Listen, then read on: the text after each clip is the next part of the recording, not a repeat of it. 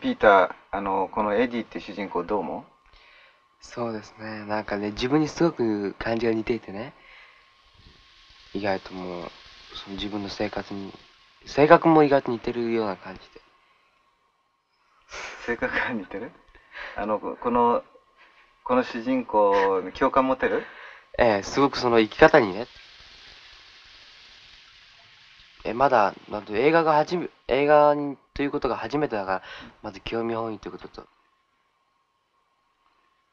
とゲイボーイをもすごくなんか綺麗に描いてくれるっていうことで撮りました。あのいろんなものをこの右か左、えーというふうにこうなんていうのかな分けて境界線をこう引いていくわけですね。でその境界線の引き方があの世界の見方をゆ歪めてしまうというか不自由なあの見方にしてしまうといったようなことに対してまず一つ批判的になる。であの非常に具体的にはあの、えー、と男と女っていったような問題もそうだしねそれからまたあの客観と主観、えーいう問題もそうだし物質と精神とかね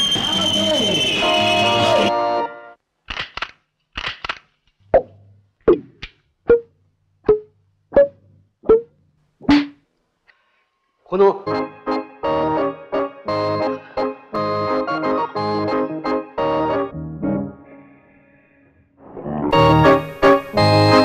でそこからはですねあの、まあ、いわゆるそのゲイボーイとあの言われるつまり男なんだけれども、まあ、女として生きようとするというね非常に矛盾した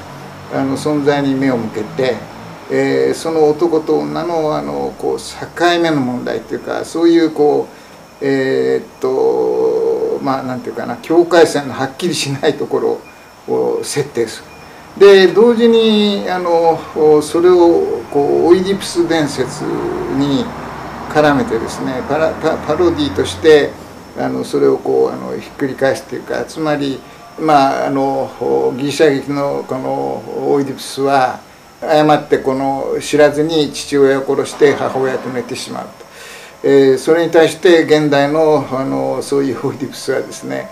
母親を殺して父親と寝てしまうまあ男とか女とかってことを考える上でもですねその時代からするとそういううことを、まあ、こう考えること自体がタブーだったんだけれども、えーまあ言ってみればこの見方や価値観がこうぐらついてくる、えーまあ、いろんな点でそのあのぐらつきを生み出す映画と、まあ、いう、まあ、映画のコンセプトがある。